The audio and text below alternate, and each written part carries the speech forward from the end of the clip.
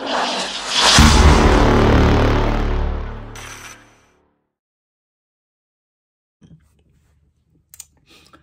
back, Theme Park Wizard, and today we're going to talk about Splash Mountain. So, a couple weeks ago during IAAPA, Disney, or Josh D'Amaro, said that some projects, obviously, were going to be, or he mentioned, that he gave a progress report of some prog progress projects, like Avengers Campus, Mickey Minnie's Runaway Railway, some Epcot stuff like Guardians of the Galaxy, Ram, uh, Ratatouille, Remy's Ratatouille Adventure, but he also said some projects that haven't even started yet will be fast-tracked. And he said Splash Mountain will be fast-tracked. And he also said more inclusion will be coming to rides around Disney parks. Which led me to think, what other rides could be have this inclusion factor? We've already seen it with things such as um, Pirates of the Caribbean, with the the changing of scenes. Um, maybe not adding Jack Sparrow, that's kind of a movie tie-in, but most notably the redhead scene, um, placing a female pirate first and foremost in there instead of the pirate selling off a woman. That is could be, I'd say, can be kind of an inclusion scene. Um, Splash Mountain Princess and the Frog, of course, an inclusion scene, whether you agree or disagree it's all about that inclusion there. But what other rides can we, um, or attractions could be referenced for inclusion?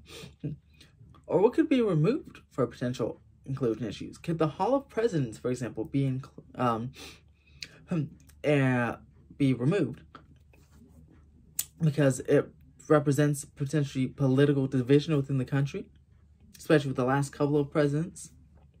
Who knows? I don't know. But these are things being talked about. Um, can Main Street be become Mickey Avenue at the Disney parks?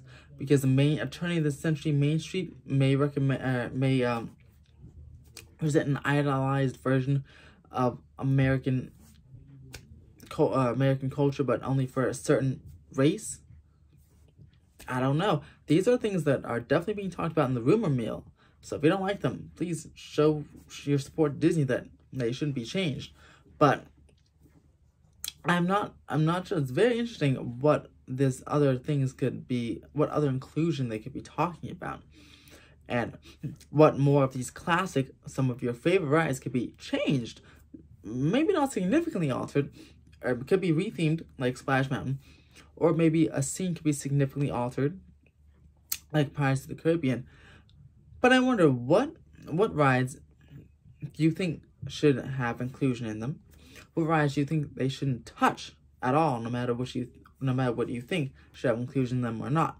I'm trying to think some as I'm speaking in this video, and I honestly can't think some. Maybe Tom Sawyer's Island. That's not a ride, but it's an attraction. Tom Sawyer um, kind of has a bad representation um, for again, other races. So maybe, well, Tom Sawyer's Island already kind of got changed, like the Pirate's Lair. But maybe that whole area will be changed. Maybe it will be become Tiana's place, you know? Just kind of get rid of that entire Tom Sawyer Island theme in general. I don't know. I don't know. But, um, let me know in the comments below what you guys think could be considered, or what, what rides can be considered for inclusion, and, uh, what you guys don't, what rides you don't want Disney to touch at all for an inclusion. Um, like the video, subscribe, definitely, definitely subscribe for more theme park, theme park updates, but also subscribe for prizes. And, and what I'm talking about is the road to 1,000. As you see, I'm at 100, 904 subscribers. I'll link the video up above um, to my whole road to 1,000 video about what prizes you can win every time you get 10 new subscribers, all the way up to 1,000, which is the grand prize. So subscribe for that share the video, and I hope to see you soon. Have a fantastic day, fantastic day. Stay tuned for much more theme park content coming very soon.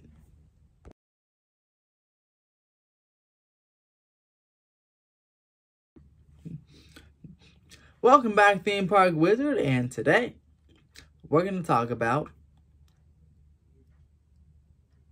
Wow, I should completely